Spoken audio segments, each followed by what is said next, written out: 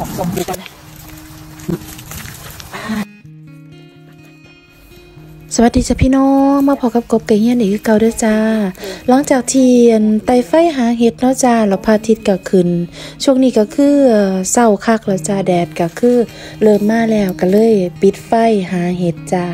ก็มาพอเห็ดโบไก่กันจ้า เอ่ออยู่แถวนี้สิมีเห็ดหลายชนิดเลยจ้านี่คือเห็ดลมเด้อจ้าเห็ดลมนี่ก็คือฝรั่งนี่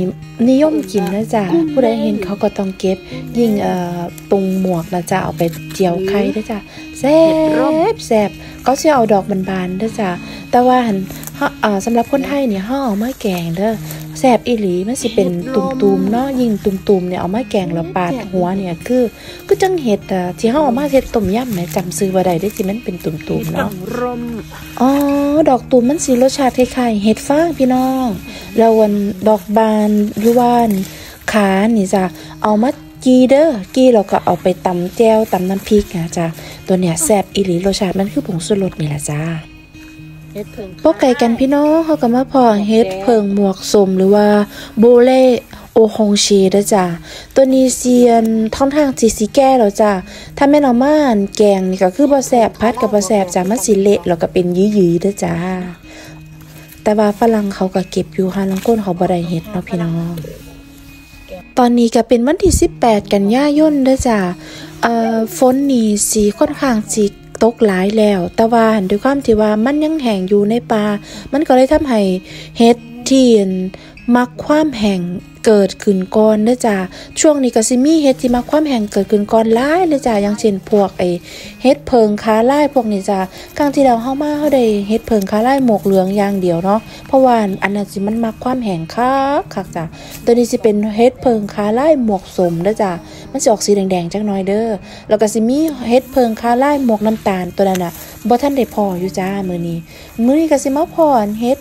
อันนี้สิเป็นเซฟบรงเซ่เซฟตัวนี้อันเซฟก็คือเดี๋ยวเด้เฮ็ดนั่นล่ะจ้าเฮ็ดอะเฮ็ดเพิงของฝรั่งเนาะเอ่อตัวนี้สิแซ่บแซ่บเด้อจ้าแซ่บแล้วกันอ่าถ้าเป็นฝรั่งเขาให้ดาวเขาสิมีสามดาวสำหรับเฮ็ดเนาะตัวนี้สิได้เต็มเลยเด้อจ้าแล้วก็แพงนำ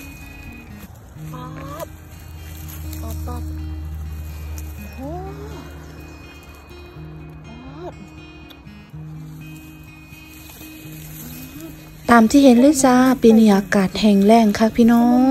จากที่ว่าเห็ดเขาจะเกิดใต้ต้นไม้แล้วก็สิมีอันอ่าใบไม้ยังโล่งๆเนาะที่เขาเคยเจอ ปีนี้เฮาสิมาพอเห็ดยวน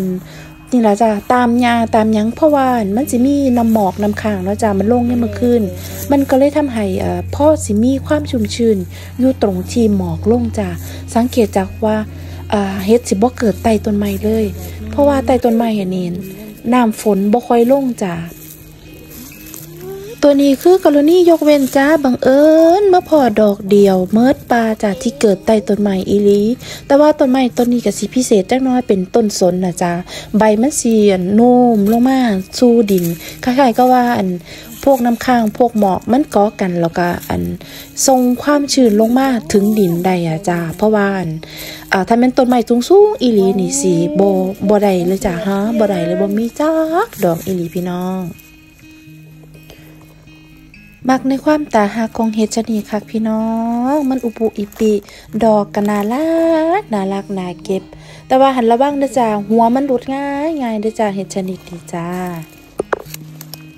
ในที่สุดก็มาพอแล้วจ้า เฮ็ดเพิงคาไล่หมวกน้ำตาลตัวนี้รสชาติคล้ายๆเฮ็ดเพิงคาไล่หมวกเหลือง หรือว่าเฮ็ดเพิงคาไล่หมวกสมเลยจ้ะคือกันดอกบานบอแสบพี่น้องทิมเลยจ้ะอย่าเก็บมาให้หมกหกกะตาเด้อ มื้อนี้ก็กลับมาสำรวจตรงเก่าจ้าตรงที่เคยได้เฮ็ดเพิงแม่มดหลาย ๆ ในตอนแรกๆจ้ะตอนนั้นมันก็ยังน้อยๆอยู่เนาะพี่น้องมันพุดขึ้นมาจากดินเมื้อนี้ก็ฮอตะพุดขึ้นมาจากดินก็หลายเลยจ้าแล้วก็สิมี่บางโตที่เฮาบ่เห็นอ่าอาทิตย์ที่แล้วจ้ะมันผ่านตาเนาะก็ดอกก็เริ่มบานเริ่มเถาจักน้อยแล้ว แต่ว่าโชคดีเฮาก็ยังได้พ่อไปแกงดอกน้อยๆนี่ล่ะจ้า สังเกตดีๆ ช่วงนี้สิมีอันเฮ็ดที่ถือทากกัดกินแล้วจ้า เพราะว่าตอนที่ฝนตกเนี่ยคือถากเขาสิปฏิบัติการย่างหากินข้านหากินเห็ดน้ำปลาเนี่แหละจ้า แต่ว่าถ้าแม่นฮ้อนๆจังสิจ้ามันบ่ออกมาแล้วจ้าเพราะว่ามันสิตายจ้ามื้อนี้พี่น้องได้มาพอเฮ็ดเพิงหวาน นี่ละจ้า เอ่อ ปกติเฮชนิดนี้เขาสิมักเอ่ออากาศที่มันสิเป็นค่อนข้างสิสิแปรปรวนจักหน่อยเด้อจ้าอย่างเช่นว่าฝนตก3-4มื้อติดต่อกัน4-5มื้อเนาะ แล้วที่นี่ก็สิมีอันมันก็สิยุดตกไป3-4มื้อช่วง3-4มื้อแล้วก็มีแดดออกนี่ละจ้า มันสิเป็นช่วงที่เฮ็ดเขาสิอ่าอ่อออกมาใคล้ายๆกับว่าเชื้อเฮ็ดเขาบ่มแล้วก็ทำงานแล้วก็ออกมาได้เต็มที่ แต่ว่าอ่าถ้าแม่นฝนตก ติดต่อกันตลอดบ่ยอมหยุดเลยนี่คือเฮ็ดเขาสิจมน้ำตายเด้อจ้า มันก็สิบ่ค่อยมีในปีนั้นจ้าแต่ปีนี้ก็บ่ค่อยมีหลายปานใดจ้าเฮ็ดเอ่อเพิงหวาน ก็สิได้เฮ็ดแบบนี้ล่ะจ้าเฮ็ดเอ่อเขาเรียกมาโบเลเอ่อโบเลโบเลหยังก่อนนี่เนาะโบเลโอฮงเชเนาะโอ้ลืมชื่อพี่น้องรุ่นแบบหรือว่าเฮ็ดเอ่อเพิงหมวกสมจ้าว่าน่ะ ว่าน่ะ